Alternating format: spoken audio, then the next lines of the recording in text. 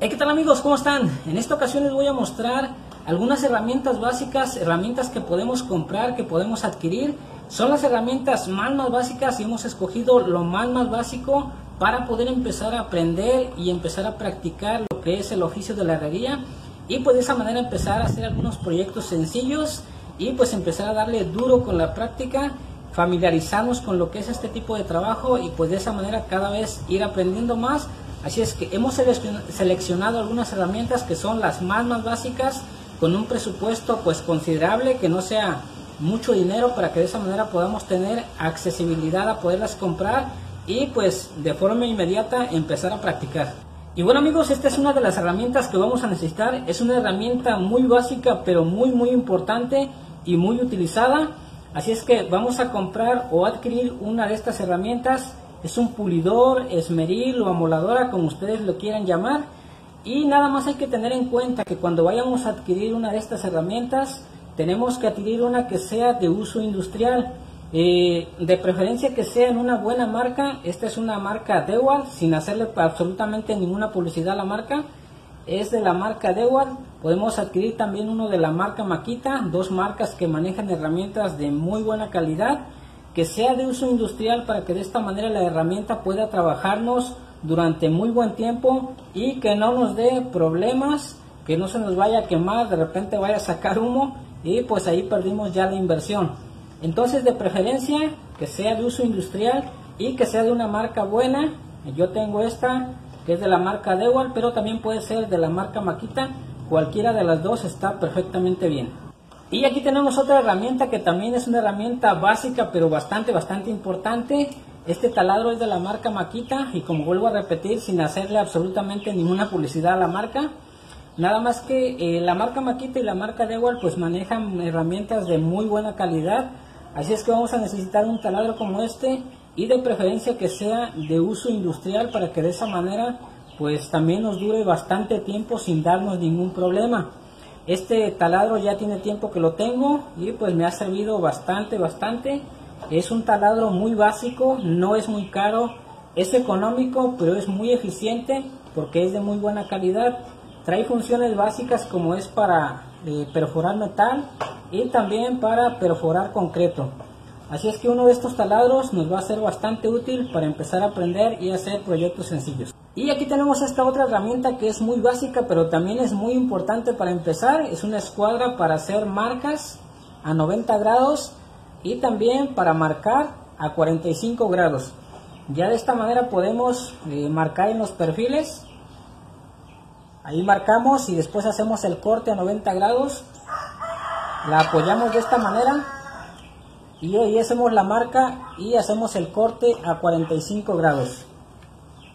Entonces una escuadra como esta nos va a venir muy muy bien, es muy básica y es muy importante y está dentro de las herramientas que debemos adquirir para poder empezar a cortar los materiales y de esa manera pues hacer los primeros proyectos. Otra cosa que también es muy importante es una careta para soldar. En esta ocasión tenemos esta careta como de las cosas más básicas. No metimos una careta electrónica dentro de lo básico porque una careta electrónica es mucho más costosa. Así es que lo que buscamos también es que sea cosas básicas y que también no estén muy caras, que sean económicas, pero que tengan muy buena eficiencia a la hora de empezar a practicar y a la hora de empezar a querer hacer algunos proyectos sencillos. Una careta de estas es muy eficiente ya que trae esta función. Aquí tiene el vídeo claro y acá el vídeo oscuro. Es cuando vamos a soldar nomás subimos, vemos donde vamos a soldar y bajamos cuando ya estemos soldando. También nos sirve bastante bien porque aquí lo podemos utilizar para cuando vamos a utilizar el pulidor o esmeril para pulir o para cortar y de esa manera protegernos la cara, sobre todo protegernos la vista y que después no nos vaya a pasar un accidente, se nos meta una rebaba en el ojo y entonces sí, no nos la acabamos con los gastos médicos. Así es que una careta que a mí, a mí personalmente me gusta bastante porque es muy útil en sus funciones y sobre todo es económica a mí ya me ha durado bastante y ha sido muy eficiente. Y por supuesto amigos que de lo más básico y lo más importante y que no puede faltar es la máquina para soldar, ya que sin ella no podemos hacer la unión de los materiales. Yo aquí tengo esta máquina que es de la marca Infra de 160 amperes. se puede conectar tanto a 220 como a 110. En 220 da un máximo de 160 amperes y en, 100, en 110 o conectado a 110 da un máximo de 120 amperes. Esta máquina tiene aproximadamente un precio de entre 7 mil a 8 mil pesos, pesos más, pesos menos. Podemos adquirir una de estas de este precio o también podemos adquirir una de precio medio. En realidad dentro de lo más básico la máquina puede ser económica, no hay ningún problema.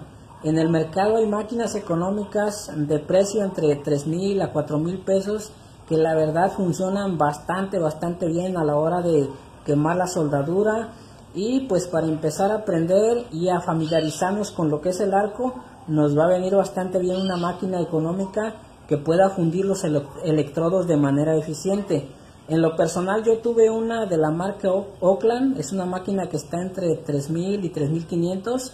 Es sencilla de su armazón, pero la verdad es que es bastante, bastante eficiente a la hora de fundir los electrodos y a mí me dejó bastante, bastante contento durante el tiempo que la tuve. Así es que dentro de lo más básico, yo creo que es mejor empezar algo que esté dentro del presupuesto de cada uno. Si tenemos presupuesto para una de estas, pues podemos adquirirla si es el gusto de uno.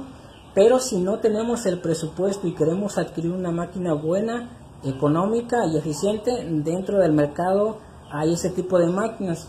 Lo más importante es que sea una máquina inverter para que de esa manera pues te ahorre en el gasto de luz y a la vez te dé eficiencia y de esa manera puedas empezar ya de inmediato a practicar, empezar a echar tus primeros cacahuatazos garapiñados, después los cordones y pues ir mejorando de a poco con la práctica. Si es que una máquina de soldar dentro de lo más básico.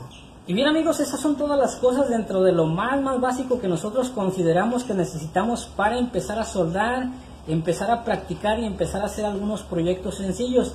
En realidad metimos solamente lo más más básico, pero sí lo más importante para empezar. Eh, ahora vamos a ver qué tanto dinero podemos gastarnos en este tipo de herramientas. Tenemos esta que aproximadamente podemos gastarnos unos dos mil pesos.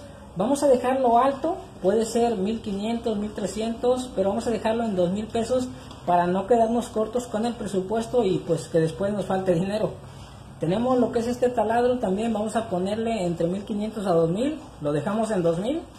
Entonces ya irían 4000 pesos en esas dos herramientas. Tenemos lo que es la careta, muy básica, sencilla pero muy eficiente y también la escuadra. Vamos a ponerle entre estas dos cosas 300 pesos. Y lo que es la máquina de soldar inverter, vamos a poner una máquina que sea económica, que sea de precio medio, entre unos 3000 a 4000 pesos Vamos a dejarlo en 4 mil pesos. Entonces tenemos 4 mil del taladro, del esmeril y el taladro. Y la máquina de soldar 4 mil serían 8 mil pesos. Y la careta y la escuadra 300, 8 mil 300 pesos. Lo dejamos en 8 mil pesos para que sea número cerrado. Yo creo que sí nos alcanza bastante, bastante bien. Así es que amigos, ahí tienen eh, las cosas básicas, tienen aproximadamente el precio que nos podemos gastar. Y pues ya con esto podemos empezar a echar chispero, empezar a echar los primeros cacahuatazos y garapiñados y pues ya con la práctica ir agarrando más habilidad. Ya después podemos adquirir algunas otras herramientas que sin duda vamos a necesitar, pero pues eso ya es con el transcurso de la práctica, con el transcurso de lo que vayamos haciendo y por supuesto pues que vaya saliendo el dinero para poder adquirirlas.